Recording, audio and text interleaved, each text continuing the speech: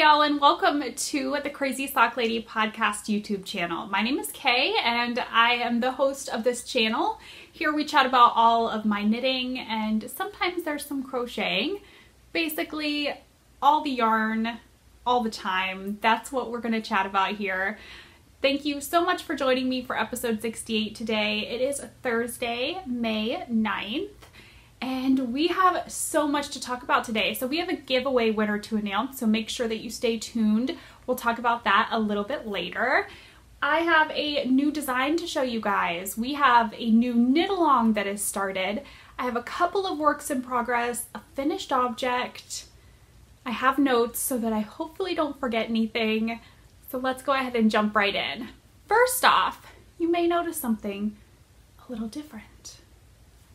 I got a haircut. if you follow me on Instagram, you've probably already seen that.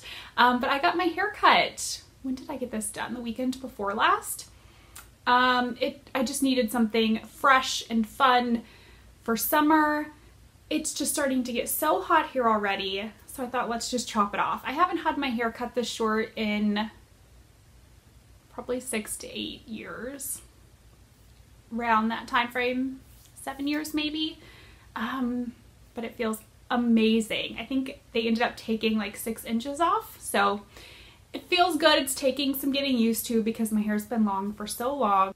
But I'm absolutely loving how just fresh and light it feels. Let's go ahead and jump right in with the knitting. That's what you're really here to talk about, not my haircut.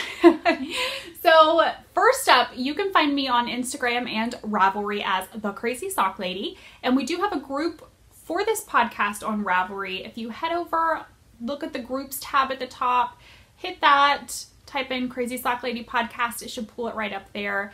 If you don't feel like searching for any of these things, all you have to do is go right down here below this video. There's a down bar, you just hit the little like arrow looking thing and it'll pop down. It's gonna have links to everywhere that you can find me, links to shops that I talk about, all the show notes are down there, links to project pages, patterns. So everything should be linked right down there below for you guys. And we have a couple of things to talk about with the Ravelry group before we start showing some knitting.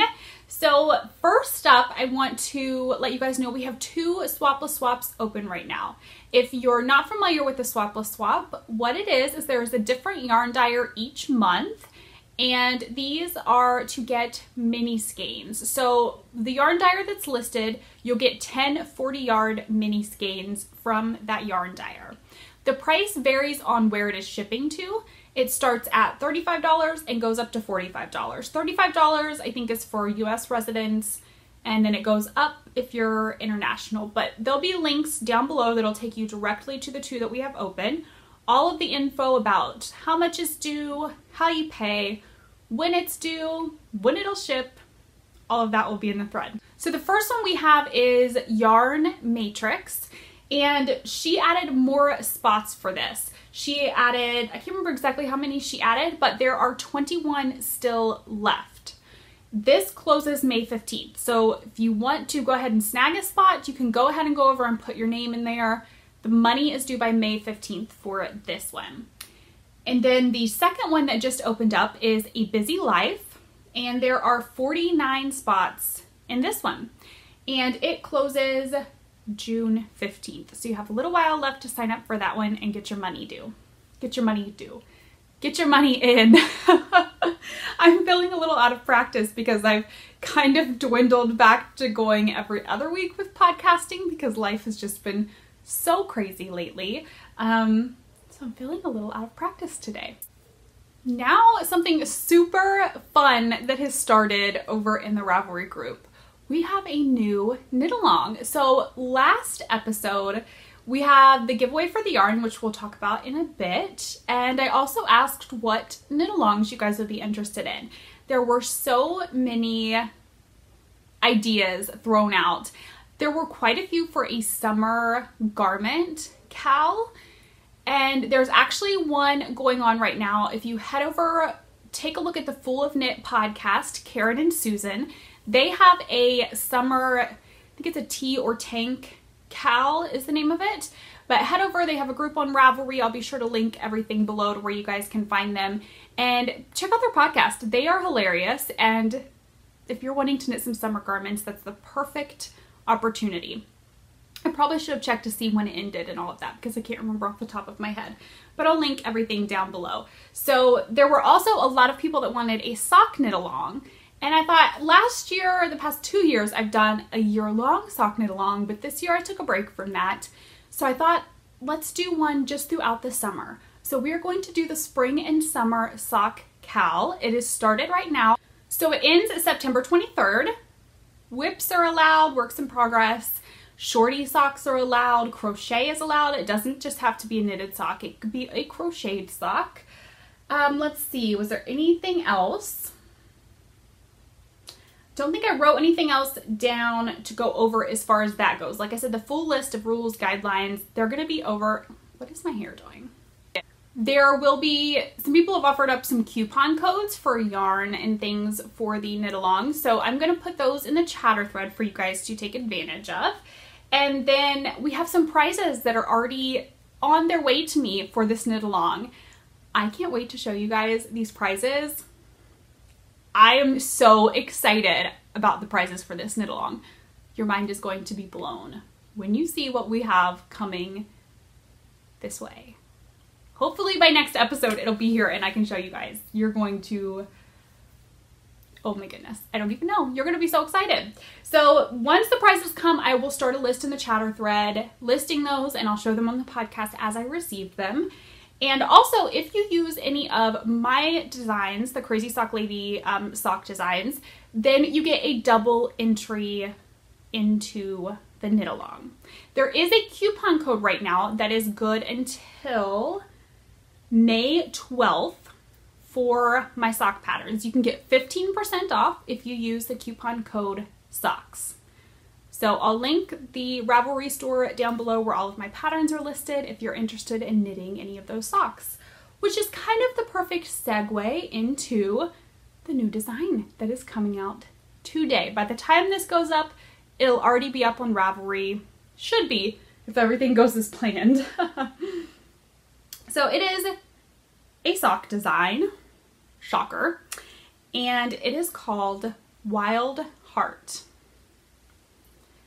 Oh, it, I match. It, it totally matches my shirt. Obviously, I have a bit of a favorite color palette. So this is Wild Heart. The yarn that I used for this is by Emily of Woolfiend. And the colorway is Wine. It's perfect. I love red wine. I love this color. this is on her 75-25 sock base, which is 75% superwash merino, 25% nylon. The pattern for this is written for cuff down with instructions for a slip stitch, heel flap, and gusset. Show you the front. The pattern just runs down the front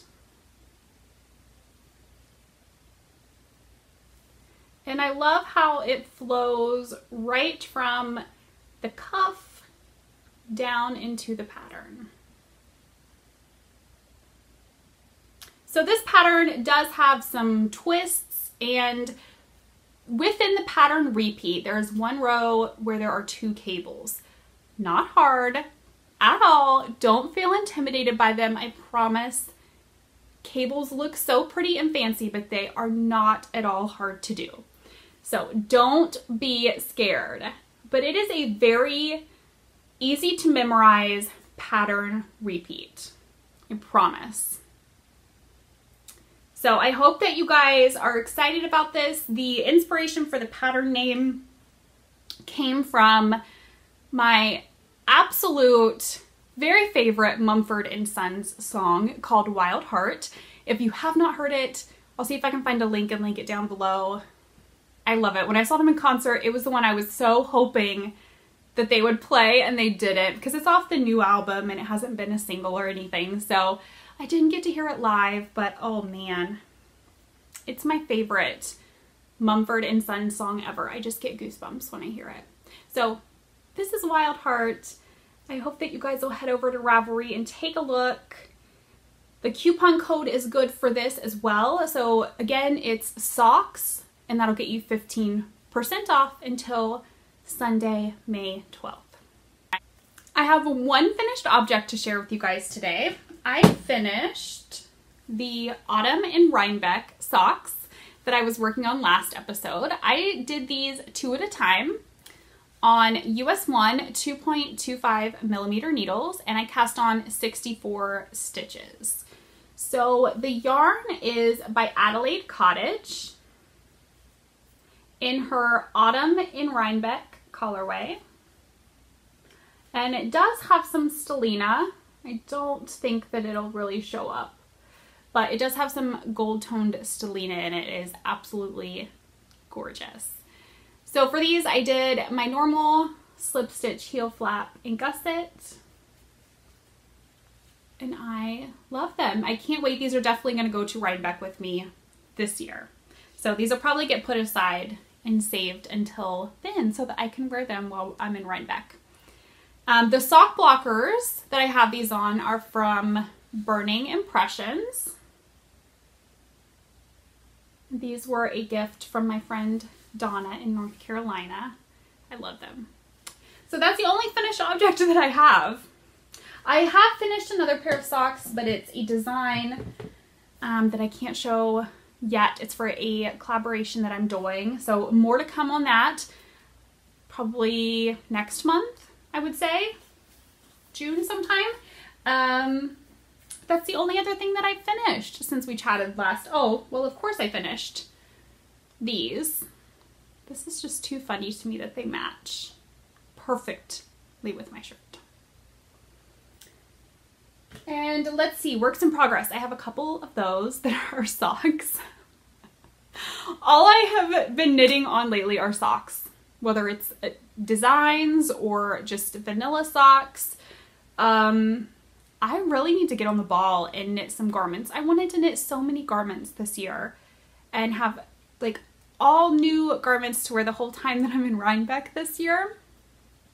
And I haven't even finished one. I started the pavement and I'm not even done with it yet.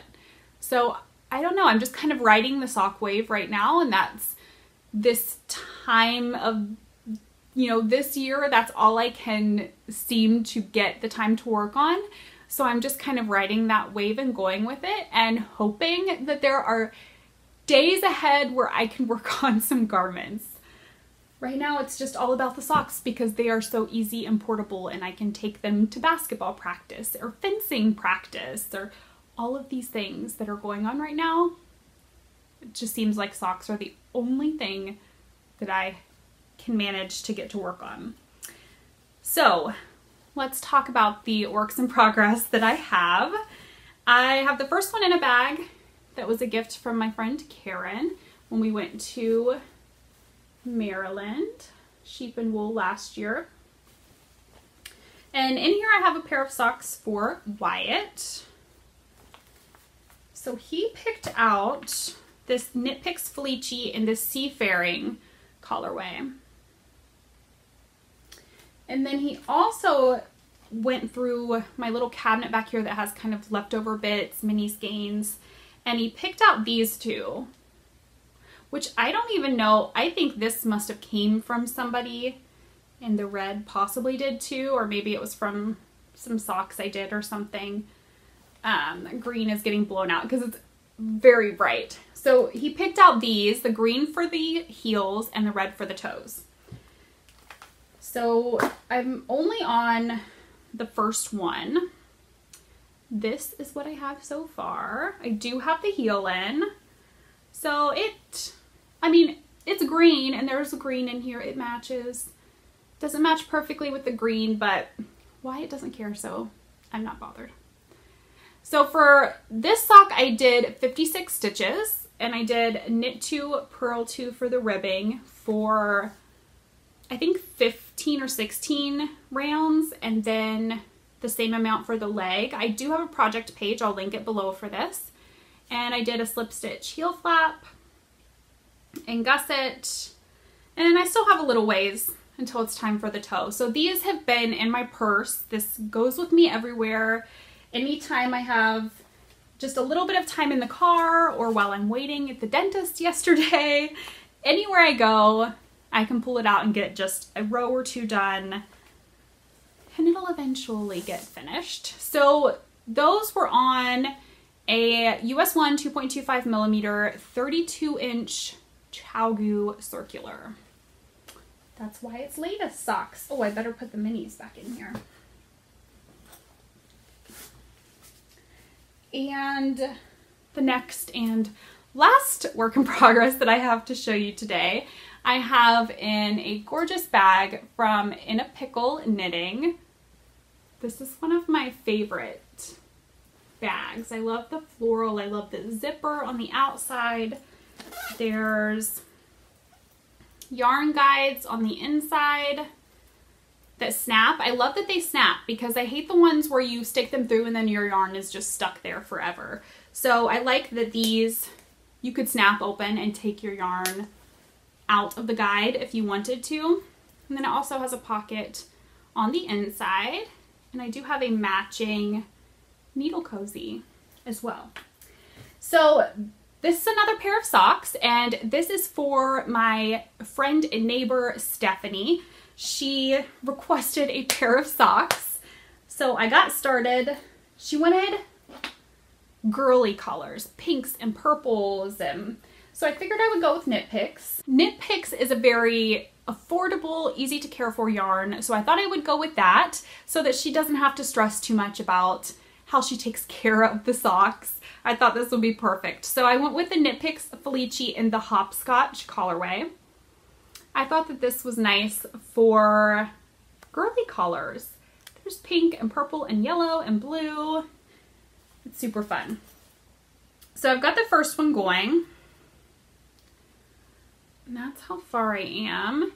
And I decided to do a pattern for these. I decided that with the sock knit along starting, I would do a design of mine that I haven't done in a while that I love to do, especially love to do it with self-striping. So I cast on the Rhinebeck Roomies sock pattern. I just think it works up so well with self-striping. I did just a knit two, purl two ribbing. And I've got these on my signature DPNs, US 1 2.25 millimeter, and I cast on 64 stitches. So these are my other take along knitting. The Rhinebeck Roomies pattern is only a four row repeat. It's very easy to memorize and kind of read. You can look at your knitting and see what row you're on, what row you need to do next. So it's one that I love taking along with me and I can work on it at basketball and not have to put too much thought into the row that I'm on. And then when I, I count how many I've done, I just count by pattern repeats. And that's super easy to do with this because you see this stitch that goes over here. There's one of those rows where you do that stitch per pattern repeat. So I can just go down and count how many pattern repeats I've done based on that stitch kind of a little tip if you're working that pattern up, which if you are, use it as a double entry for the sock knit along. If you're interested in getting the pattern, you can get 15% off if you use the code SOCKS. That's only good until Sunday, so make sure you head over and take advantage. That's it for all the knitting things that I have to show you today. Now let's go ahead and announce the prize winner from last episode. And then I have something, actually two things I'm going to show you that I received in the mail since the last time we chatted. So for the giveaway, I received some yarn from Mint Rain Hand Dyed Yarns. And these two self-striping beauties were sent for giveaways. So I thought we would go ahead and do a giveaway last episode for one. And I asked for you guys to comment which one you would like if you won. So I did random number generator. I went through all of the comments and the winner is Karen Hoyt and she picked Meadow, which is this one. This gorgeous pink and green.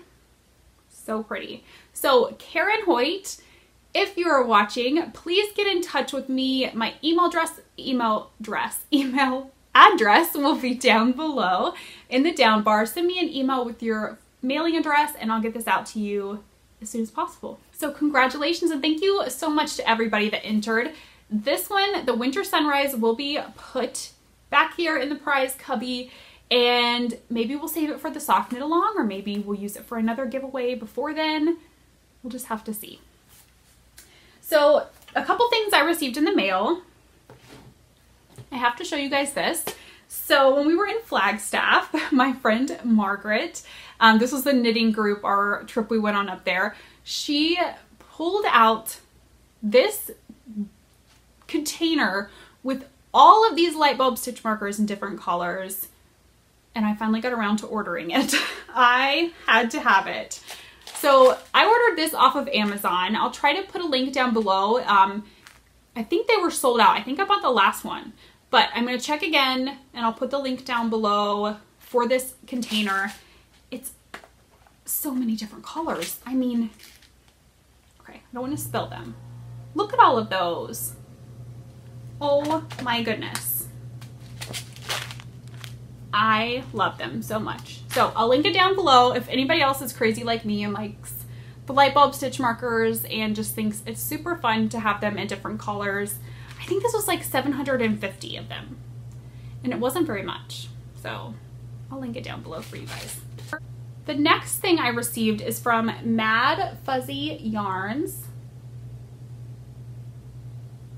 So she sent me a paper here that tells all about the process, what makes her yarn special. So I'm gonna go through and give you guys just a little bit of snippets about it and I'll be sure to link link everything down below for you guys so that you can check out her yarns as well. So what makes her yarn unique is that it is locally sourced and produced fiber. She is in Maine, so everything is local. The fleece is local, they're from sheep in Maine. She takes these skirted fleeces to Ashland, Maine. It's a six hour round trip, it says, to a one man operated mini mill where it is spun there at this mini mill. And then she herself is in Maine and she dyes the yarn, hand dyes it there in Maine. So everything is local in Maine. I love it. Now, this yarn that she sent me let me show you the colorways and then I'll tell you a bit about the base. So the first one is Cutler Coast. It's gonna get blown out, the label is. Such pretty, deep, rich colors. And then this one is Kevin's 4th of July, which I giggled when I saw because my dad's name is Kevin. So I just thought that was too cute that she sent this one because she probably has no idea that my dad's name is Kevin. but I just thought it was fun. Definitely a fun 4th of July colorway, I think. So the base that this yarn that she sent me is on is called Pretty Tough. It is 80% East Frisian wool and 20% Firestar nylon. Let me tell you what, this feels like sturdy workhorse yarn. And in saying that, while it's not like a superwash, it's not super duper soft, it does not feel scratchy to me. I don't believe that it feels scratchy. Um, it feels like a workhorse yarn that is going to hold up for socks. And the she put in here as well because I thought at first looking at them that there was some stellina in them, but the Firestar makes them sparkle. I don't think that you'll be able to pick it up. There's actually a piece of glitter in there. Um, I don't think that you'll be able to pick up the sparkle, which is a total shame. But it does have a sparkle to it, but there is no stellina. It's so pretty. And she says in here that the East Frisian wool has a very long staple length not the softest fiber, which I said, you can tell that it is a workhorse yarn. But she put in here that it wears like iron, doesn't pill or shrink, and is perfect for socks. I'm going to test this out, guys. I'm going to knit a pair of socks. I don't know which one I'm going to do. Um, I haven't decided yet. But as soon as I get a couple of things off my needles, this will be my next sock cast on. I cannot wait to work with this yarn. I'm so excited to try out a new combination of wool that I have never tried before, a feel that I've never tried before, something that's done in the US is, you know, in Maine, everything she is local to her. I think that makes it so special. So I'm very excited to try this out and let you guys know uh, more about this base as I work up with work it up and wear the socks. I hope you guys all head over and check out her shop. I'll link it down below. She has such gorgeous colorways. Um, I'm excited to try. And these skeins, I did not say, they are 400 yards, 100 grams. And they're both on that same, what was it called? Pretty tough. I was gonna say tough sock. Pretty tough sock base. All right, so I think that pretty much wraps it up today. Not really too much to chatter about. We've been crazy busy with stuff with the kids. Um, Austin, thank you guys so much. If you follow me on Instagram and you saw that Austin hurt his foot, thank you guys for reaching out and sending well wishes and prayers and thoughts his way and checking in to see how he was doing. It definitely made his day to, to see, hear about the messages and um, yeah, it was just so nice of you guys to do that. And he is doing much better. So he, what ended up happening, we aren't sure exactly when he hurt his foot. This can be something that just happens from repetitive jumping. It's not a sprained ankle or anything like that. It's his, the joint at the base of his big toe on his right foot where it joins to his foot. That is where the sprain occurred. Um, it was just nasty. Very, very swollen and painful. He's been out of basketball for about a week so far, which, if you know him, has been torture on him and me because he has not been the most patient person about this. He's very frustrated that he has not been able to play. He's missed practices, which he's went and watched so that he doesn't miss any plays, but you know, he's not been able to practice or play in games. So we're hoping he's going to practice tonight. The swelling's down, his foot isn't hurting. So he's gonna go to practice tonight and see how it goes. He played out front for a little bit last night on the hoop that we have out there and did good. It wasn't bothering him, it didn't swell back up, but he wasn't doing as much as he will in practice.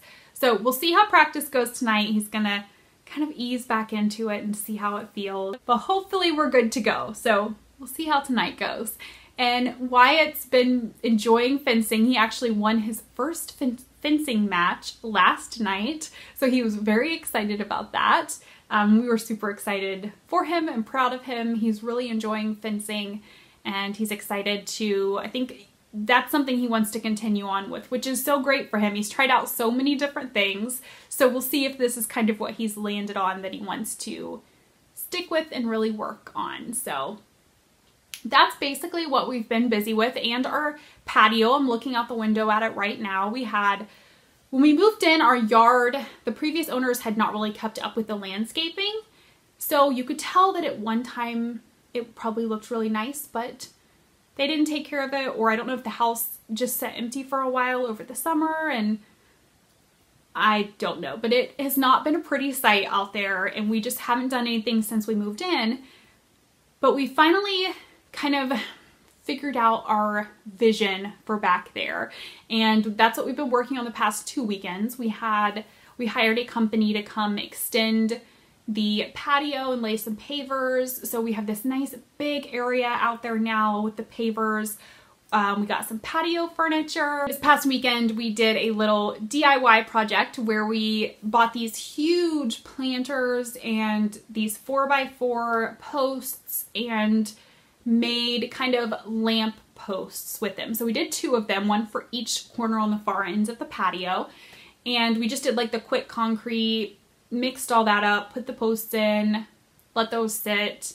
And then we strung lights, the Edison bulb lights from the porch all the way around the patio. So because we've been sitting out there since the, we got the patio furniture and all of that and I couldn't see to knit when it would get dark. So we decided to do some lights out there. So now I can see to knit while we're sitting out there, but it looks great. So now we just have to get the rest of the yard done. We have the patio done. So this weekend, um, depending on Austin's basketball schedule, you know, if he jumps back in with his games, we're going to try to get started on the rest of the work for the yard. We have some of the concrete curb that had been there from previous landscape to tear out, bushes to trim, all of that fun stuff before we can really have them come.